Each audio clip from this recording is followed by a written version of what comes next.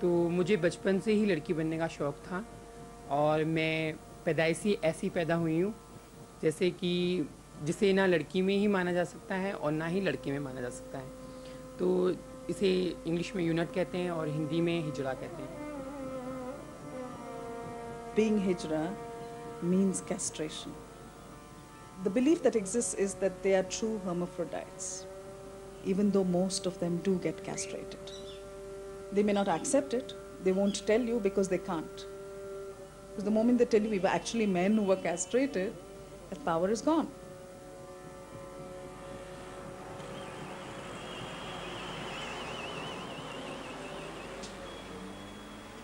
Jag har bestämt träff med Anjali.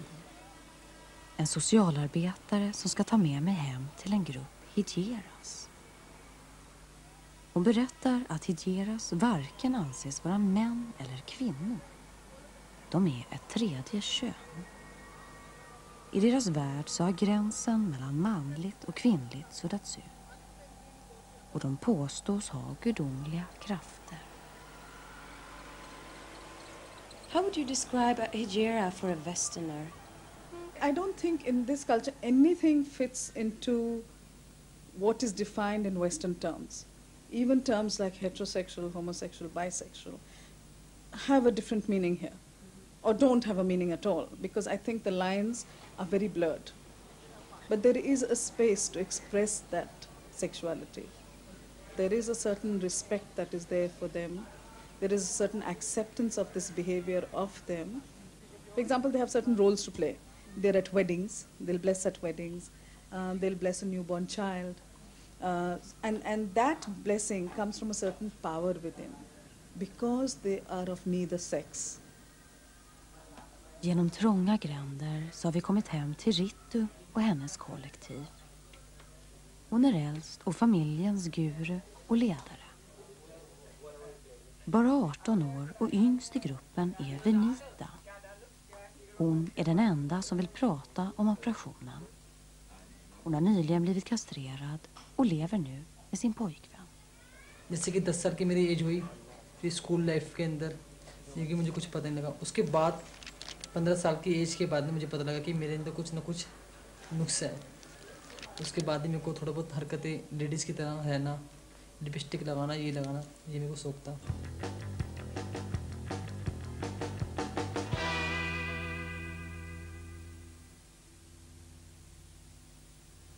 Operation ये कि मैंने बाहर से कराया।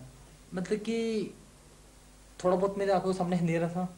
ऐसा लगा जैसे कि कोई मेरे सामने या कुछ भी समझ लो, भूत खड़े हो, जैसे कुछ भी समझ लो, मेरे को टच किया किसी ने, मेरे को कुछ ऐसा लगा मेरे को उसने काट लिया। इस टाइप का मेरे को लगा। देखिए, ये नहीं पता कि कोई डॉक्टर थे, कि वो कौन थे। अब डॉक्टर समझ लो जो कुछ भी समझ लो तो मैं कुछ जानती नहीं। मुझे इतना होश था नहीं।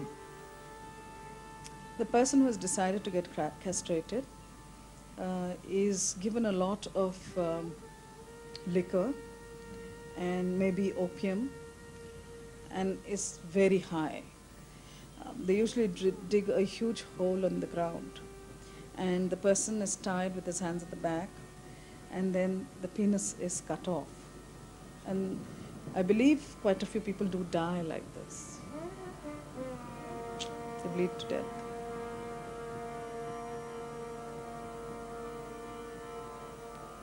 You had been having a penis for 17 years. Didn't you miss it? हाँ थोड़ा महसूस तो हुआ कि शरीर का कोई एक अंग चले गया ये तो महसूस हुआ फिर मैंने सोचा कि नहीं जो चीज़ कुछ थी नहीं जिससे कोई कांटेक्ट था ही नहीं वो चीज़ गई तो गई कमर मासी देखा काली काली मासी तू क्यों नहीं है? तू इसको ऐसे खुला छोड़ देना। खोलना हाथ को खोल कमर तूने कहा कि खुला छोड़ दे। वाले ताल में कर। और क्या? वैसे तो कंप्लीट अपने आप को एक औरत जैसी समझते हैं कि मैं एक औरत हूँ क्योंकि मेरे हेयर अच्छे हैं मेरी आ, सब कुछ अच्छा है मतलब।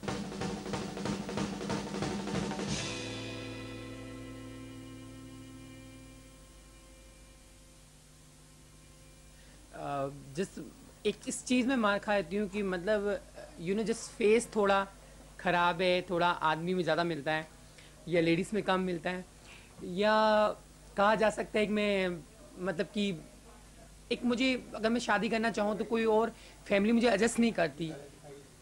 मर्दानगी वाली बात ये है कि जिसमें मुझे कोई अगर छेड़े या लड़ाई करे तो मैं उसको पीट सकती हूँ। ऐसे ना कर। मैं तेरे को तंग कर रही हूँ, कोई बात नहीं। तो गिया नहीं तंग करना चाहिए ना, मेरे को तंग करने में? नेचुरली वो जलती हैं, वो देखती हैं कि हमसे अच्छा कपड़ा पहनती है, हमसे अच्छा गोल्ड पहनती है, हमसे अच्छा मेकअप कर लेती है।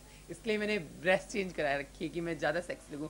वो दिखती एकदम मतलब फिगर भी अच्छा मेंटेन कर रखा है ये कुछ ज़्यादा ही मस्त चलती है तो उसको जेलस तो होती होगी थोड़ी बहुत। उसका अगर वो एक औरत आदमी जा रहे रास्ते में, एक औरत आदमी जा रहे हैं नेचुरली हम पास से यूँ करके यूँ निकल गए।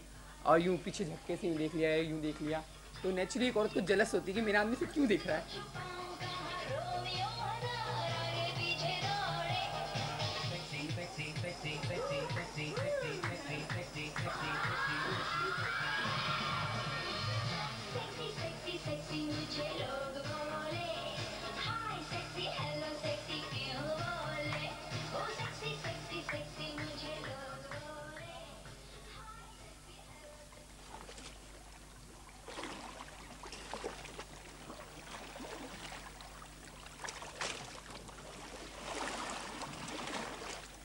Para hacer este deporte la única cosa que no se puede tener es miedo. Yo eh, repito frases a mí misma, me, me hablo conmigo misma y hay una palabra que me, que me transmite mucha tranquilidad, que es precisamente la palabra tranquilidad.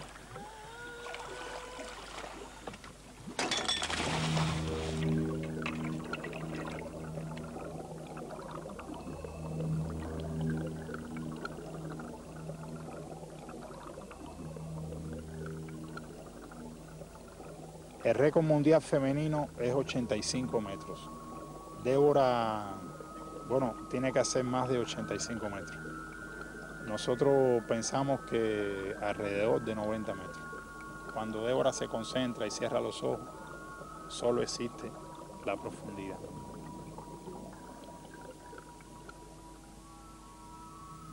Hit till Sardinien kommer varje år några världens bästa fridykare för att träna och tävla. Kubanskan Deborah Andollo är redan världsmästare men kämpar hela tiden för att komma längre och längre ner i havsdjupet. Det finns ingen annan kvinna som kan slå henne just nu. Det är bara naturens och kroppens begränsningar som sätter stopp. Vi träffar henne när hon tränar för att slå sitt eget världsrekord. Pienso que, que no tener rivales no significa no tener competencia.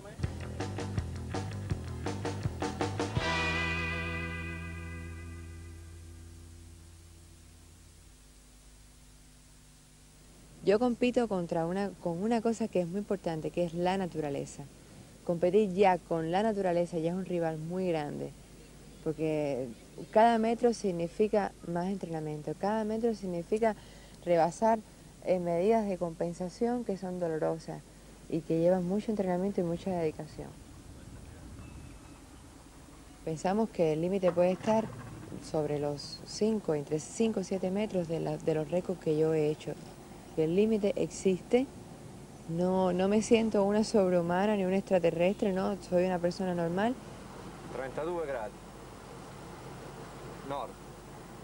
La parte más débil, la parte más, mm, más difícil de trabajar es precisamente la compensación y es ahí donde yo pienso que, que llegaría el límite de cada persona.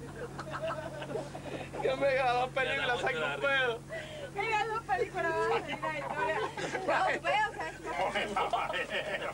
Somos prácticamente hermanos. Ella se apoya mucho en nosotros y cuando baja en el mar lo hace sabiendo que hay siete hermanos de ella que están velando por su seguridad y ella con los ojos cerrados confía que no le va a pasar nada. Pero ha- han existido muchos accidentes en Europa, en Cuba también, de muchachos que quieren practicar la apnea y lo hacen solo. Y el mar se hizo como mínimo para dos personas.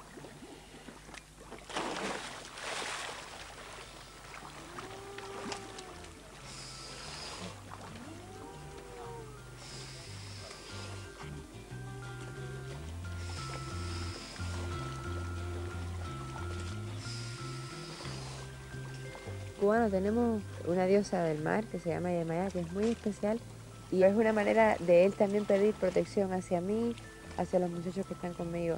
Y yo lo hago siempre porque tengo mucha, mucha fidelidad con esto, tengo mucha fe con esto, me siento tranquila haciéndolo. Y nada, es muy simple, es una cosa en la que creemos. Son los famosos 7 centavos que se le dan a- se le ofrecen a Yemayá como, como decir